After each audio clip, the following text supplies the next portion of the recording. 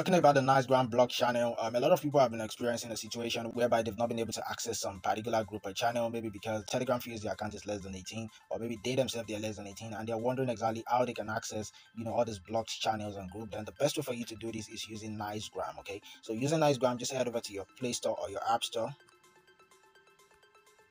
So right here, I'm just gonna type on Nicegram.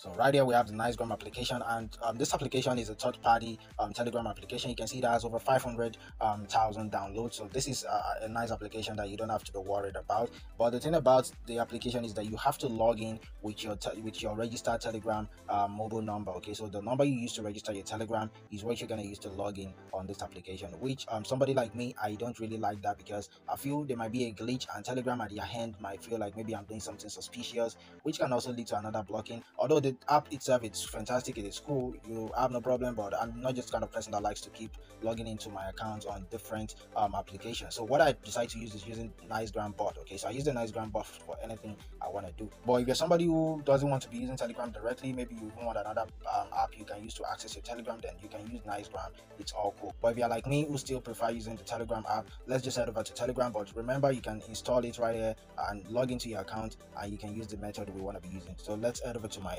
telegram application. Okay so right here on my telegram and um so um what we want to do here is using the nicegram bot okay? So instead of we logging into nicegram there we just want to integrate the bot right there so i'm gonna click on this search icon at the top right here and i'm gonna search for nicegram bot. I think i already have it right there so i'm gonna search for nicegram bot and you can see right here the nicegram bot is already um added. So right here you want to tap on this one not all these ones below okay? You want to tap on these. So once you tap on that, you can see it. What can this bot do? Official Nicegram app bot, Nicegram. So um, here is how it works. Okay, so what you want to do right here is to click on start. Okay, so you want to tap on the start right here. So you want to tap on start, and the moment you tap on start, you can see telling me hello, login to Nicegram website using button below. So um, no, we're not doing that. So you can edit settings button using uh, edit settings using button below without opening website. So now one thing you need to know is that if you have not um, update your account to 18 plus and you do not allow sensitive content, this is what is going to show. Okay, so your 18 plus and sensitive content is going to be cancelled. So meaning your account is not yet in 18 plus, your Telegram account is not yet in 18 plus, and you're not allowed to show sensitive content. Like you're not allowed to be shown sensitive content. So there are some platforms you will not be able to access, and Telegram is going to block your access to such channels or groups. So what you want to do right here is just to toggle this um 18 just toggle this cancel icon this to cancel icon toggle it and it's gonna check mark okay? So okay so save remember to reset okay yeah. So you wanna you wanna save it. So right there that is how you'll be able to access blocked channels with nicegram okay? So um here is how it works. And in case you click on start and this stuff didn't show all you just have to do is to click on this link and you will still be able to access this stuff okay? So you just have to click on this link but i don't really like to log in because even if you click on that link they're gonna tell you to log in to your telegram like using your telegram mobile number okay? So you have to log in using your registered telegram mobile number so to the nicegram app. So but if this works for you if this is working for you well then just use this method and just toggle the two and you're good to go. But in case you click on start and it doesn't show you can try to clear your phone cache okay? You can try to clear your phone cache by going to your settings telegram and um, clearing the telegram cache and it will, it will still show and it should show to you okay?